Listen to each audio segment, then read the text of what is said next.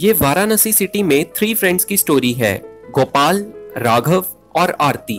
गोपाल चेतन भगत से मिलता है। चेतन भगत गोपाल के कॉलेज की इनेगोरेशन करने आए हैं और इनेगोरेशन के बाद गोपाल के घर ड्रिंक के लिए आते हैं।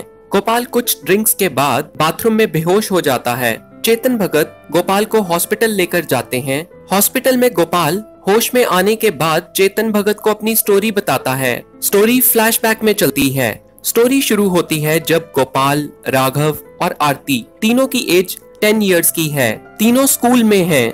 गोपाल आरती के टिफ़िन बॉक्स से खाना चुराता है। आरती पहले तो नाराज़ हो जाती है, पर बाद में गोपाल बताता है, उसके मदर की डेथ हो चुकी है, जिसके कारण उसको टेस्टी फ़ूड कम ही मिलता है। आरती गोपाल को टिफ़िन शेयर करने की ऑफ़र करती है और दोनों दोस्त बन जाते हैं। आरती एक रिच फैमिली से बिलोंग करती है लेकिन गोपाल के घर की फाइनेंशियल हालत खराब है। गोपाल के फादर एक किसान हैं और उनकी ज़मीन पर डिस्प्यूट चल रहा है। गोपाल के मदर की डेथ तभी हो गई थी जब गोपाल फोर इयर्स का था।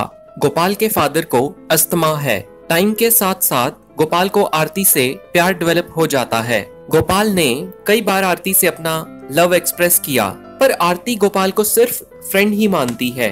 तीनों दोस्त जेईई और all Indian engineering entrance examination की कोचिंग लेते हैं। आरती एयर होस्टेस बनना चाहती है, गोपाल इंजीनियर बनना चाहता है, क्योंकि ये उसके फादर का ड्रीम है। राघव जेईई अच्छे रैंक से क्लियर कर लेता है। मगर राघव का ड्रीम इंजीनियर नहीं, बल्कि जर्नलिस्ट बनने का है। गोपाल जेईई नहीं क्लियर कर पाता और हिम्मत हार जाता है। और सिर्फ़ अपने डैड का ड्रीम पूरा करने के लिए कोटा सिटी में कोचिंग लेने चले जाता है। गोपाल की एब्सेंस में राघव और आरती क्लोज आ जाते हैं और दोनों का अफेयर हो जाता है। गोपाल को इसका पता चलता है और वो कोटा में बहुत अकेला फील करता है। जेईई एग्ज़ाम देने के बाद गोपाल वाराणसी वापस आ जाता है और देखता है अब उसके फ्रेंड्स की लाइफ पूरी तरह चेंज हो चुकी है। गोपाल के फादर ने अपनी सारी सेविंग्स गोपाल को जेईई क्लियर कराने में लगा दी। अब उनके पास कुछ नहीं बचा, पर इस बार भी गोपाल जेईई क्लियर नहीं कर पाता।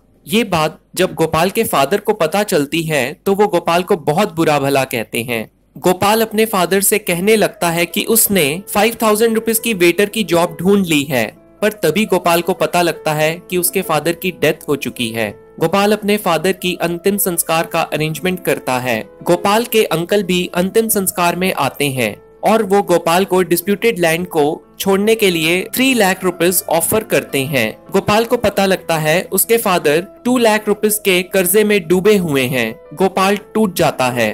तभी गोपाल का एक फ्रेंड गोपाल को एरिया के एमएलए शुक्ला जी से मिलवाता है।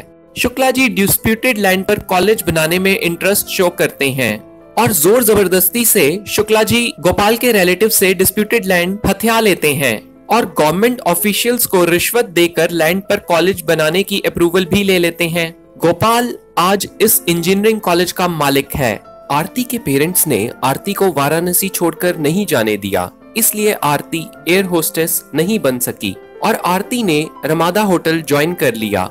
राघव ने इंजीनियरिंग कंप्लीट करने के बाद कॉलेज कैंपस की जॉब नहीं एक्सेप्ट की, बल्कि एक न्यूज़पेपर में रिपोर्टर की जॉब एक्सेप्ट कर ली। गोपाल के कॉलेज की इनेगोरेशन के डे हर न्यूज़पेपर में बड़ी सी एडवर्टीजमेंट आई। लेकिन राघव ने गोपाल का ही एक इंटरव्यू पब्लिश किया और पब्लिश किया कैसे गोपाल ने शुक्ला जी के साथ मिलकर घपले किए और कैसे ये कॉलेज खोला। इसका नतीजा ये हुआ, उन लोगों ने राघव को जॉब छोड़ने के लिए मजबूर कर दिया। राघव ने जॉब छोड़ने के बाद अपना एडिटोरियल पेज रेवोल्यूशन 2020 शुरू किया। राघव अब बहुत बिज़ी हो गया। गोपाल और आरती ने रोज मिलना शुरू कर दिया। गोपाल ने आरती को फिर प्रपोज किया। आरती ने ज़्यादा रेजिस्ट नहीं किया। गोपाल ने एक रूम बुक किया, उस होटल में जहाँ आरती जॉब करती थी। दोनों इकट्ठे ही रूम में रहे। आरती को गिल्ट फील हुआ, क्योंकि आरती राघव के साथ रिलेशनशिप में होते हुए गोपाल के साथ इंटीमेट हुई। अब गोपाल अपने बंगलों में शिफ्ट हो जाता है। गोपाल आरती को भी वहाँ इनवाइट करता है और राघव से बात करने को कहता है। राघव एक बिग स्टोरी कवर करता है, जिसमें एमएलए को रिजाइन और फ्रॉड करने के लिए, जेल जाने के लिए प्रेशराइज करता है। राघव की प्रेस पर एमएलए के गुंडे अटैक करते हैं और प्रेस को तोड़ देते हैं। आरती के फादर से लोग रिक्वेस्ट करते हैं कि वो इलेक्शन में खड़े हों, पर फादर बीमार थे तो लोग आरती से उम्मीद रखते हैं कि आरती इलेक्शन लड़े। आरती गोपाल को हिंट देती है, वो उसके हस्बैंड बने और एमएलए भी। इसी बीच राघव हाथ से लिखकर हैंडआउट्स को फोटोकॉपी कराकर लोगों में बांटता है और एमएलए के करप्शन के बारे में अवेयर कराता है। गोपाल गुस्से में आकर राघव के घर जाता है। ये बताने के लिए कि राघव कितना बड़ा लूजर है, उसकी जॉब और उसकी गर्लफ्रेंड दोनों ही उससे छीन ली गई हैं।